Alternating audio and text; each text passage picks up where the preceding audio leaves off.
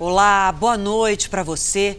Três homens foram presos em São Paulo, suspeitos de fazer parte de uma rede de pedofilia internacional. Na casa de um deles foram encontrados mais de 7 mil arquivos pornográficos envolvendo crianças de todas as idades.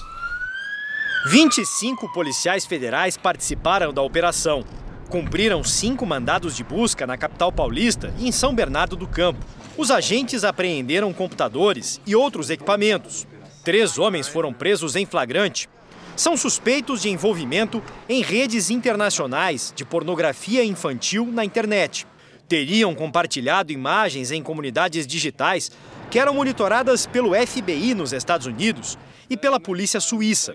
A Interpol repassou as informações para a Polícia Federal.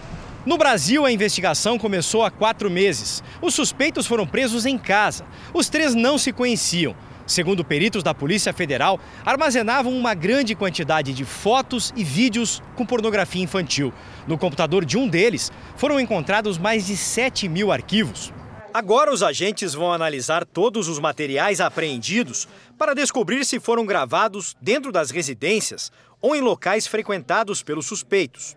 Até o momento nós só temos indícios do compartilhamento de, de fotos e vídeos. Né? Nós não identificamos ainda nenhum, ainda não há nenhum indício concreto com relação à produção das imagens. A Polícia Federal pediu a prisão preventiva dos suspeitos, sem direito à fiança. A pena por compartilhar imagens com pornografia infantil pode chegar a seis anos de prisão. No Rio de Janeiro, uma outra operação das polícias Fluminense e Paulista prendeu um analista de sistemas num condomínio de luxo pelo mesmo motivo. Ele teria confessado que se relacionava pela internet com adolescentes. A caça ao suposto pedófilo começou na madrugada. Estava amanhecendo quando a polícia chegou em um condomínio de luxo na Barra da Tijuca, zona oeste do Rio. Gabriel Augusto de Andrade, de 31 anos, foi surpreendido. Segundo os policiais, ele admitiu que se relacionava com menores de idade pela internet.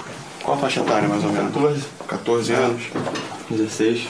Gabriel é analista de sistemas e, segundo os investigadores, o conhecimento em informática facilitou a criação de vários perfis em redes sociais para seduzir as vítimas. A mãe de uma delas, que mora em São Paulo, desconfiou e denunciou o crime.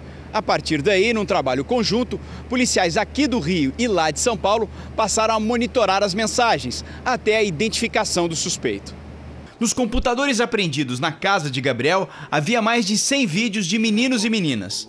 Segundo os investigadores, em diálogos pela rede social, o analista de sistema teria elogiado as vítimas e pedido fotos. Se tivesse mais de 18 anos, ele imediatamente descartava. Por quê? Porque ele tem uma característica realmente de pedófilo. Ele quer criança e adolescente como vítima para ele.